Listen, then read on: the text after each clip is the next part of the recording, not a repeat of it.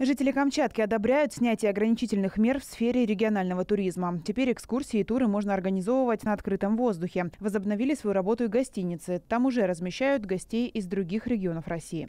В большинстве своем камчатцы с энтузиазмом встретили послабление в режиме. Многие из них планировали поездки в другие регионы страны, но из-за ситуации с коронавирусом приняли решение остаться и отдыхать на полуострове. Находимся в отпуске на самом деле, но из-за обстановки в стране вообще мы никуда не полетели.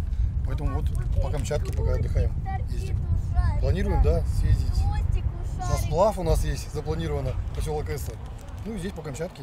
Потому что здесь тоже у нас же много направлений, где можно, где можно отдыхать, а мы этим не, э, как это, ну, мало пользуемся в основном. Ездим на материк, там отдыхаем. А теперь здесь будем уже развивать, не развивать, а вернее где-то что-то новое, наверное, для себя узнаем, познаем. Сюда, чтобы прилетали как вам сказать, э, люди вот именно путешествовали, чтобы здесь, чтобы поднимался Камчатку, вот именно, конечно, это надо же открывать ее. За это мы и, как можно сказать, и деньги будут, и все, и наверное, все такое-то будет. И строиться Камчатки, и подниматься, экономика наша будет подниматься на этой Камчатке. Как правильно, если закрытая будет, экономика падает у нас. Из-за того, что нет вот, э, путешествий, такого все. Туристов.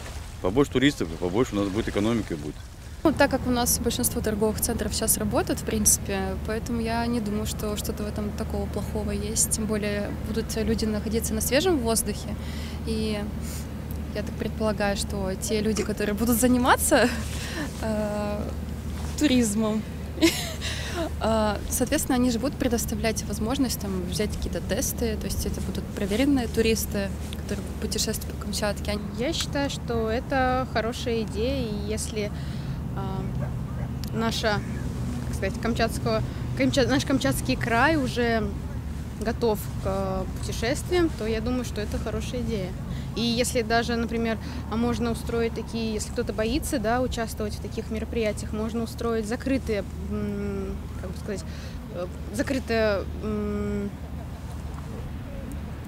ну, как закрытые группы, да, которые будут уже проверены, уже будут э, конкретно, вот они приехали отдыхать, а они уже не болеют, все хорошо и могут, в принципе, посещать, посещать такие мероприятия. Народу уж надо жить в полном смысле этого слова. То есть это поможет и бизнесу? Конечно, и... туристическому бизнесу, да.